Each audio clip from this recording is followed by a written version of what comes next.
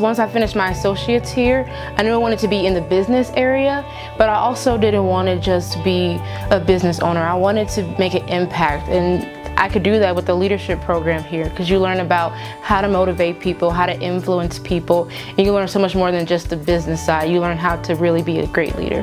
I am really happy that the organizational leadership class are tied in with the IS courses because they have really helped me um, learn how to grow more and how to emphasize the leadership aspect that it brings into my education. Through the different theories we learn, the different self-assessments we have, you learn so much skills that you didn't know you had and you also learn your weaknesses that you need to improve on too. So I think overall just self-developing is probably the best part of this program. Out of these OL classes you will definitely be taking uh, growth.